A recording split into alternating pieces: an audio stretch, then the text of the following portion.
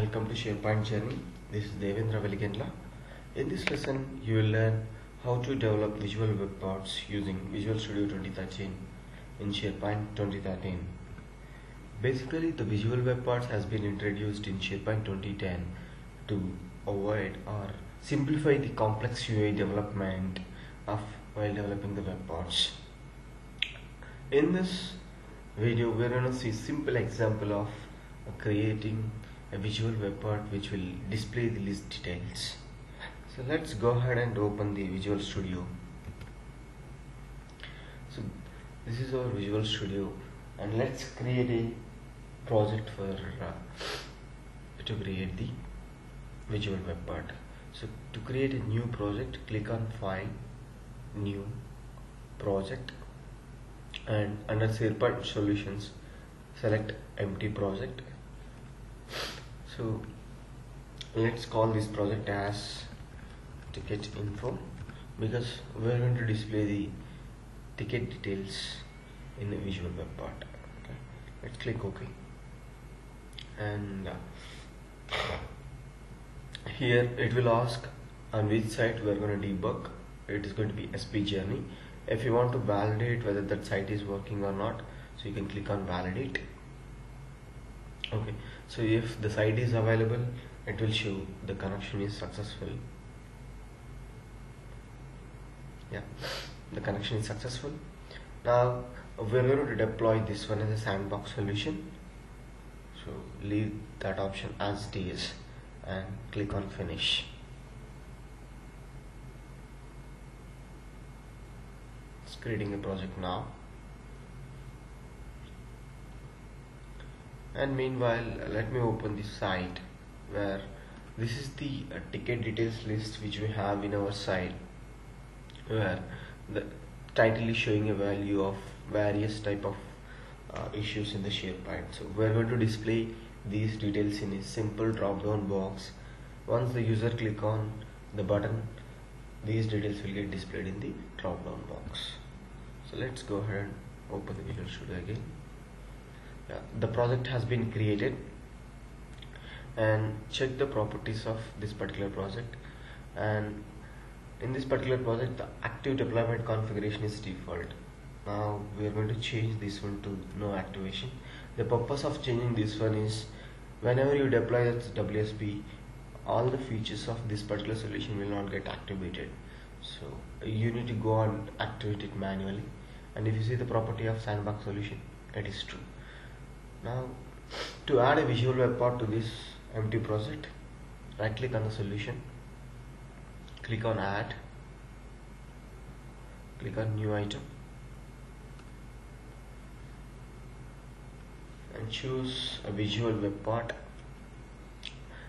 Nothing has been mentioned here so that means this web part is for sandbox solution. If you want to have a web part for farm solution you can choose the below one. So right now I'm going to choose a visual web part for sandbox solution. I'll name this one as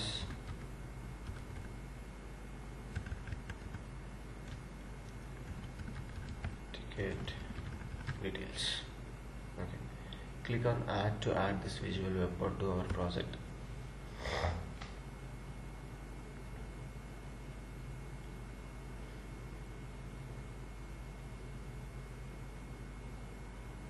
So once this got added. Okay. We have a code snippet for uh, ASPX file and the CS file. So this ASPX file doesn't have much information so it's a simple drop down box on the button ID so let's go ahead and add them. Okay. So let's add the user control code here.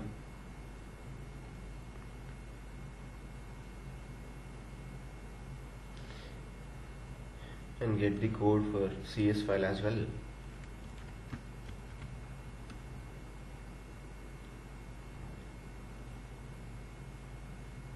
Still processing of copying the details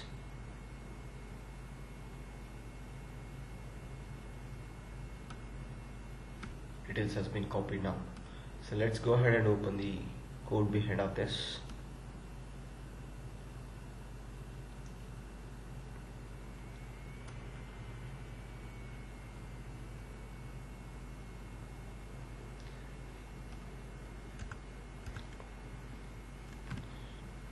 I have copied the CS file details add couple of namespaces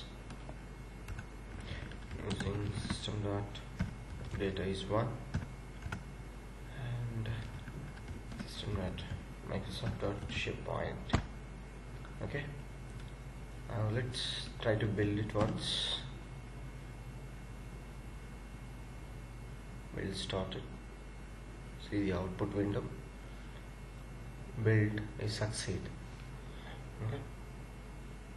Now let's go ahead and see what is there in the user control so we have a drop down box and a button. So whenever user clicks on this button the details will get populated to this drop down list. And if you go and see the CS in the data table we are getting item details. If I go to the item details method we are creating the context of the current web. And once we have that web we are getting a list of ticket details and once we have those item details we are returning the data table from that.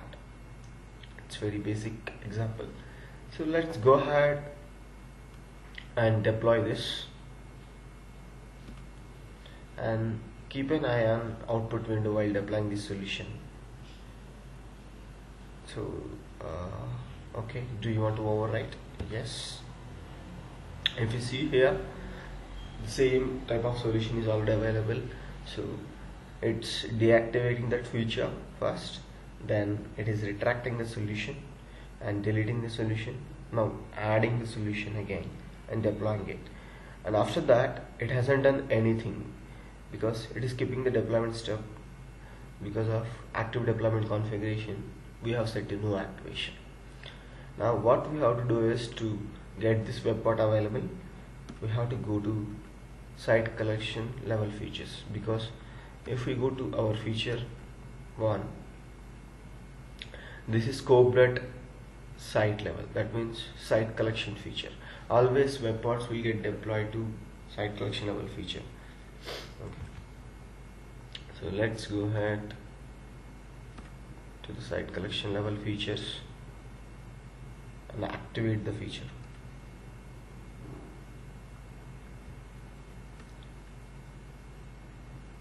our feature is ticket info feature one. Let's activate this.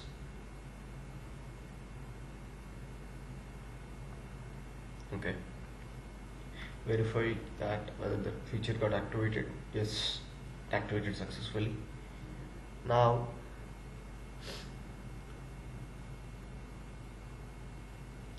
we have a page here for a visual web part. Okay let's open that. Edit the page. Clean this old web part now let's go ahead and insert the new web part which we have created okay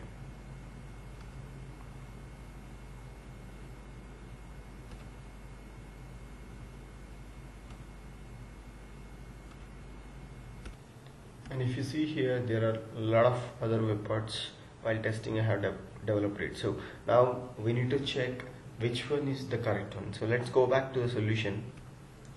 Check the ticket details.webpart file and see the name ticket info ticket details so this is the web part which we need to add it. So let's go back to the site. Now this is the web part which we need to add. Click on add to add the web part which you have just developed. Okay. And save the page. Now whenever clicks on this particular button the drop down is going to populate the list details. So, so just waiting. Yeah you can see here. The details of list is getting displayed in a drop down so it's very basic example of getting the list details using visual web part which is of sandboxed type. Now there would there won't be any files which are in the solution. And this sandbox solution got deployed to the solution gallery. So you can go to site settings and check under solutions gallery. So you can see here this got deployed to the solution gallery. So you can activate it deactivate it and that can be applicable to only this particular site collection so that is the advantage of sandbox solutions okay i hope this session helps to learn about developing visual web parts in SharePoint 2013 using Visual Studio 2013.